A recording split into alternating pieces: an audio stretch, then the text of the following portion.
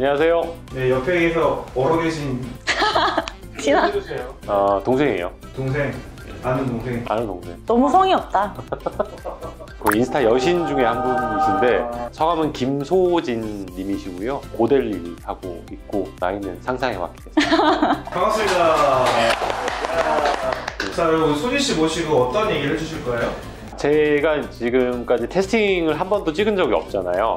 사실 소진 씨도 어, 와인을 테스팅한 지가 마신 지가 이제 10년이 넘었는데 와인을 마실 줄은 알지만은 어떻게 마시는지 정확하게 모르더라고요. 얼마 전에 이야기를 해보니까. 소진 씨도 동의하세요? 네, 저도 와인 마시기 시작한 거는 오래됐는데 어떤 와인이 좋은 거고 자세히 대해서는 알지 못해서 오빠한테 궁금한 것도 물어보고 저뿐만 아니라 많은 사람들이 저처럼 궁금한 게 비슷할 것 같아요 아마 그래서 그 궁금증을 제가 오늘 풀어보러 오빠를 찾아왔습니다 와인을 이제 오래 드셨지만 아직 와인에 대해서 제대로 평가를 하거나 장점, 단점을 발견 그렇죠. 일단 뭐 와인을 자주 드시는데 와인은 잘 모르고 점점 와인 이야기를 하시는 분들이 많은 있는데 거기서는 계속 소외가 되고 그러니까 어떻게 드시면 와인을 제대로 드시는지에 대해서 오늘 좀 가르쳐 드리려고 합니다. 와인을 모른다는 건 어떤 의미일까요? 음, 당신 같은 사람? 주관성이 결여되어 있는 건 그런 건가? 아니면 뭔가 기준 같은 게 없어서 그런 건가?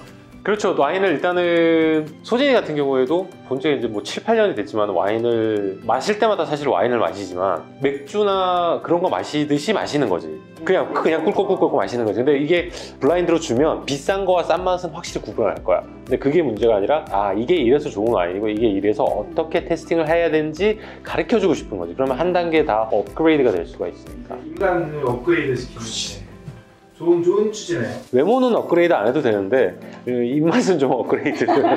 근데 역으로 보면은 안토니도 외모는 좀 업그레이드 하셔야지.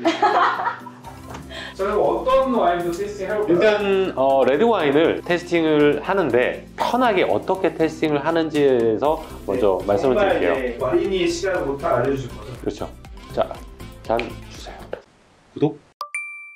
와인 잔은 지금 두 개를 줬는데 오른쪽에 있는 게 1번, 왼쪽에 있는 게 2번. 이제 테스팅을 하는 거에 대해서 제가 설명을 좀 해보도록 하겠습니다. 그래서 기본적으로 컬러를 보면 그러니까 사람도 이렇게 외모를 보다 보면 그 사람의 나이가 대충 보이잖아. 응 보여 왜? 20대? 아니 오빠가 요즘 나이도 많이 매기더라 여기 어쨌든 사람도 사람의 외모에서 나이가 음. 좀 드러나듯이 와인도 컬러만 봐도 이 와인의 대충 숙성이나 이걸 볼 수 있거든. 잔을 이렇게 살짝 45도 정도로 어, 기울여서 자 이렇게 기울였을 때 지금 와인 컬러가 무슨 컬러야? 진한 붉은 장미? 그렇지. 붉은 장미 루비 컬러. 이걸 보통 purple ruby라고 하거든. 어. 그럼 purple ruby면 보통 와인이 처음 만들어졌을 때 품종 따라서 조금 틀리기는 하지만 보통 이런 purple ruby를 띈단 말이야. 근데 거기서 숙성이 좀 더 되면 루비 컬러로 바뀌어. 이 검은색이 좀 빠지면서 어. 거기서 좀 더 숙성이 되면 고동 색깔을 띠게 돼. 오빠 타이 같은 그렇지. 거기서 좀 더 숙성이 되면 호박색을 띈단 말이야. 어떻게 되면 와인이 굉장히 진한 루비 빛깔에서 점점 점점 숙성이 되면서 색깔이 빠진단 말이야. 근데 지금 이 와인은 컬러를 봤을 때 굉장히 진한 루비 빛깔을 띠고 있으니까 아직은 굉장히 어린 와인이라고 볼 수 있어. 그리고 테두리 다시 기울여봐봐. 여기 테두리 림 컬러가 어때 지금? 맑아 맑고 하얗지. 이 테두리가 하얀 색깔을 띠고 있으면 앞으로 더 숙성이 가능하다는 거지. 아 근데 이 테두리가 노란 컬러를 띠고 있는 경우가 있어. 어. 그러면 숙성이 됐고 지금 빨리 마셔야 된다. 아 진짜 근데 이거는 지금 컬러도 어리고 테두리 하얗고 쉽게 말해서 굉장히 어린 와인이다. 내 피 색깔 같다 그래서 어리다 뭔 소리지? 그 다음에 컬러만 봐도 이 와인의 지금 건강 상태를 알 수가 있는 거고 살짝 이렇게 한번 돌려보세요.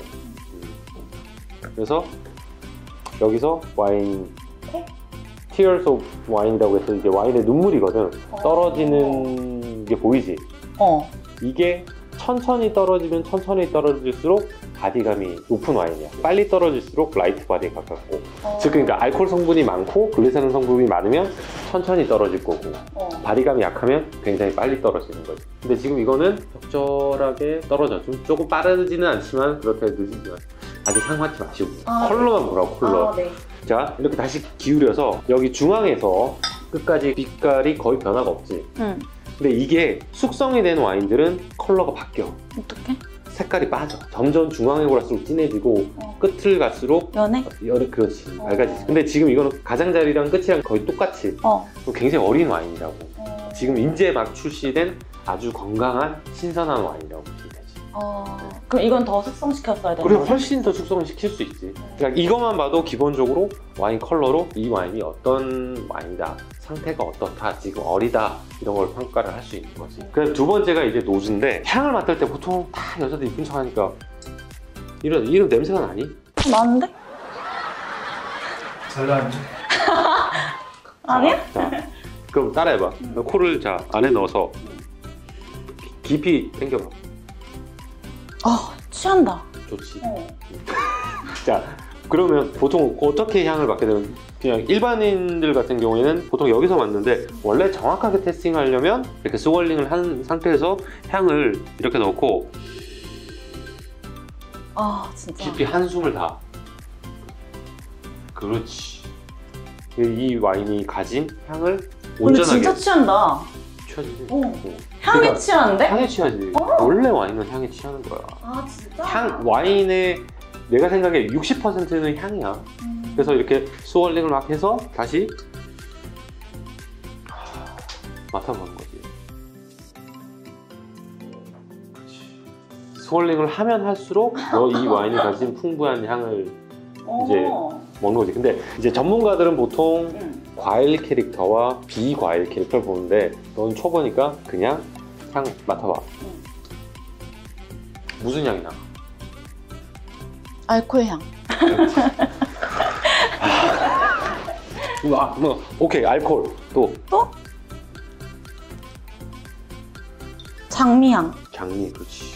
피노누아로 만들었으니까 장미 향이 나겠지. 또 짠내를 아나?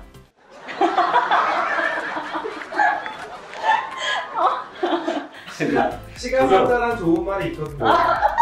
저기 이거 되게 좋은 와인이네요. 쪘네? 왜? 자연스럽게 하려며. 와, 아, 야, 오케이, 오케이. 쪘네? 시간 상당, 시간 상당. 시가상자 네. 어, 시가상자 다시. 쪘네? 시가상자 어. 향이 좀 나는 것 같은데. 그런 향도 나고, 어. 그 다음에 그렇게 해서 이제 향에 대해서 평가를 하는데 이 와인이 상했는지 안 상했는지 아. 향을 보고 맡은 거야. 어. 이 신발에서 나는 냄새. 어. 그런 게 와인에서 나면 그거 썩은 와인이야. 이 스월링을 멋으로 하는 게 아니라 인위적으로 공기를 계속 접촉을 시켜서 이 와인이 가진 향을 발산시켜주는. 음.